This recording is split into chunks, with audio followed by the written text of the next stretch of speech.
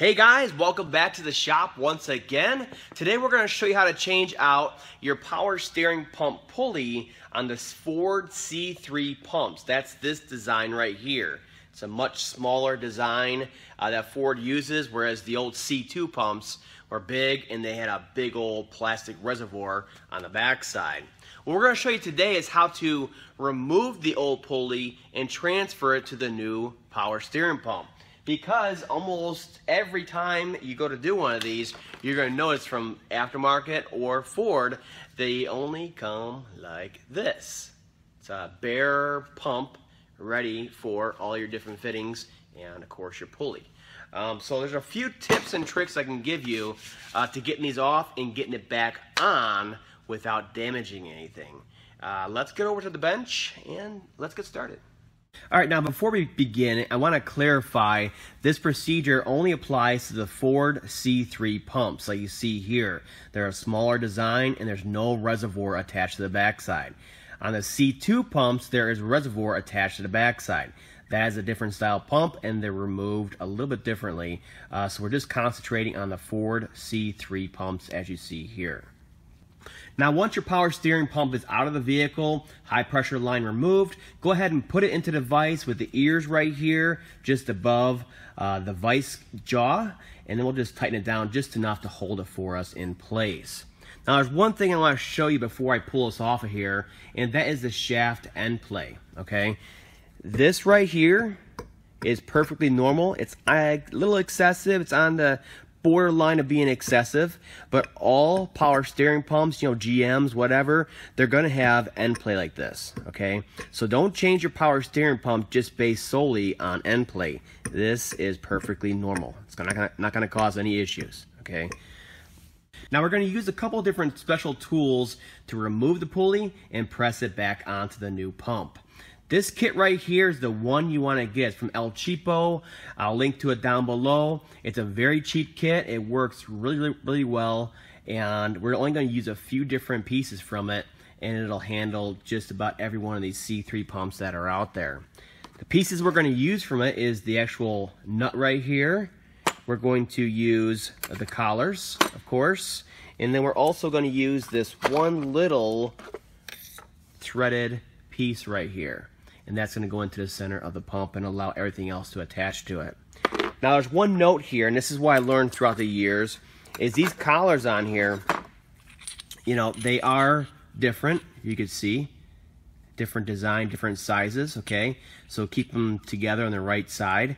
Um, but on, was it the, the Ford Taurus 24 valve dock engines, and I think the Escapes, same thing, 3.0, 24 valve dock engines, I had to actually shine, well, grind down uh, the one side so it actually fit in there. On those, for some reason, the groove right here where it slides into uh, is extra small. Uh, so I had to grind it down a little bit to, uh, you know, make the profile a little smaller on there to hook into those. Besides that, these will work stock out of the box on just about every other C3 pump out there. It's just a pulley design uh, difference. Now going back together, we're going to use a nice high quality installer because if you get a cheap one, a lot of times this small little shaft right here that threads into there is going to break off when you're pressing it onto there because it takes a good amount of force to press it back on. Um, so what you want to do is get a good quality one like this one from OTC. Again, I'll link to everything down below for you guys.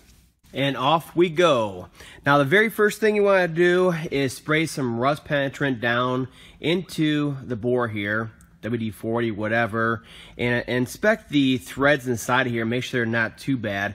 I've never seen one that was so far gone that I couldn't thread this uh, piece into there. So once they're you know, lubricated and cleaned out in there a little bit, we'll go ahead and we'll start installing the different pieces to press this thing off of here.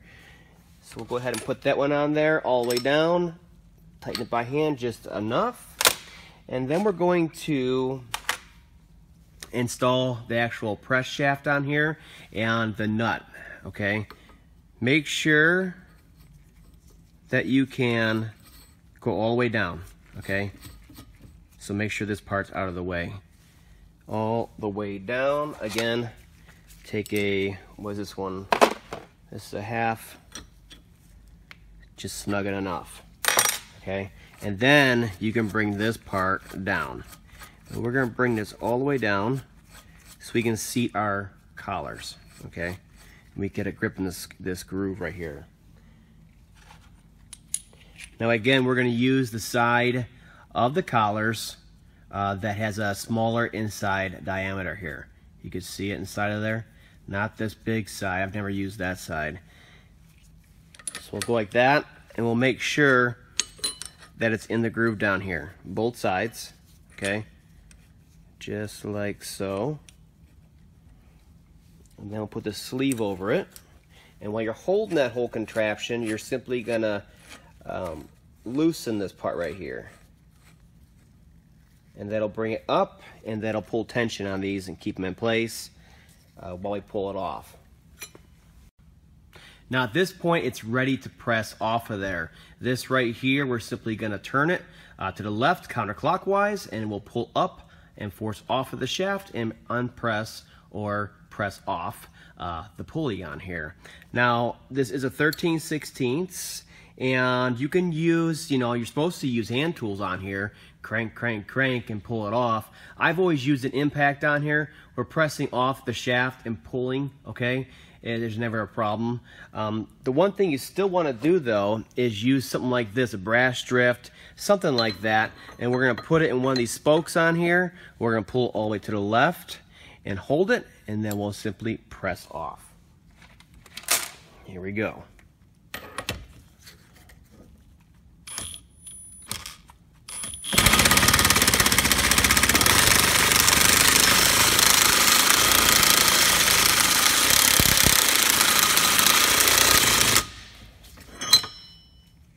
Can see it takes quite a bit of force to get these off of here.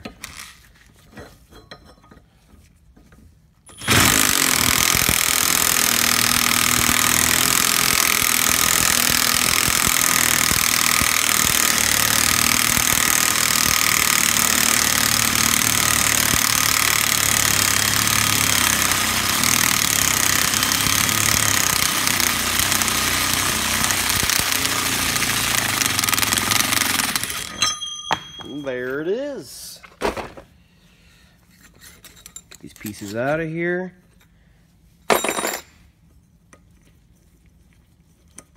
Get these out of here.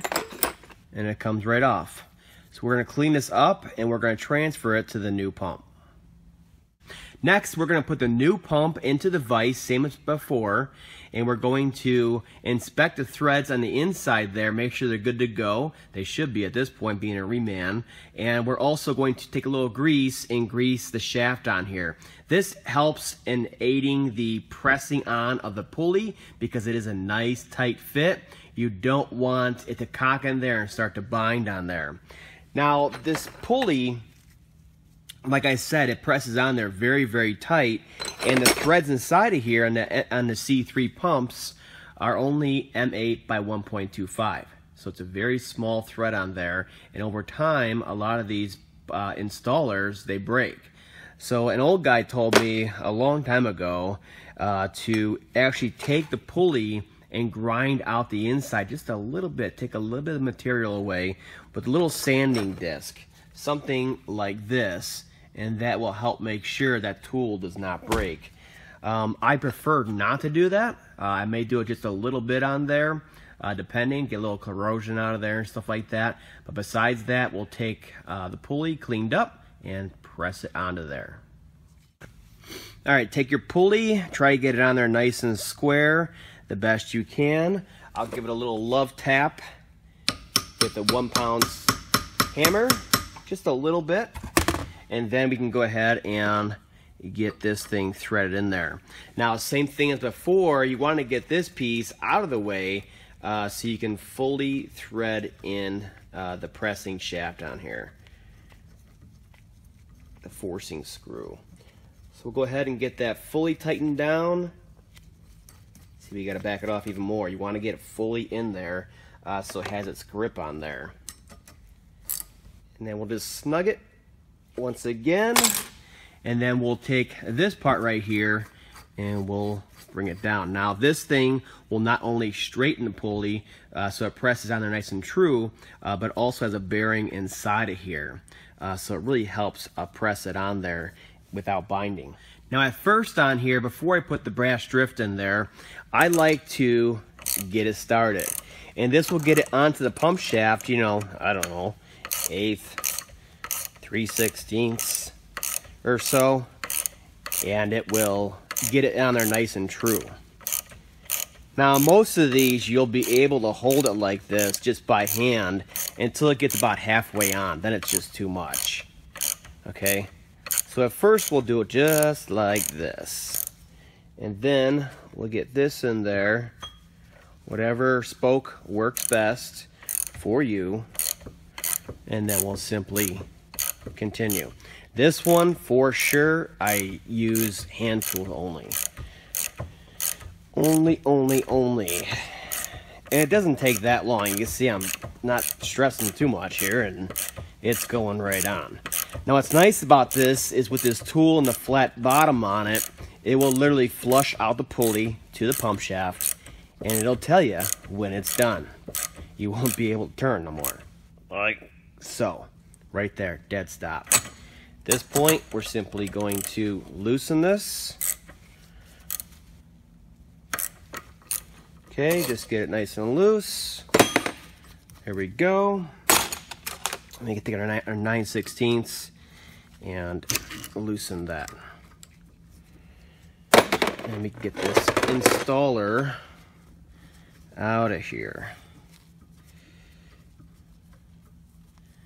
And you'll see, as a post check, you'll see uh, that the pulley and the shaft are nice and flush with each other. Check this out. See, they're all gonna have end play. New, old, reman, it doesn't matter. They're all gonna have it. It's it's perfectly normal, you know. But yeah, that's how you install uh, these pulleys. You have to press them off and press them back on. The only exception here is, I think, on the Explorers only, 4.0 Explorers, uh, they have three bolts, three 10 mil bolts. It's the greatest idea in the world and it works so well. They never come apart. I don't know why all these other ones have to be pressed on. Uh, but you'll find these more common uh, than the bolt-on style. And that's how you do it. So that's it for now. I'm going to get this thing installed. It's late enough here.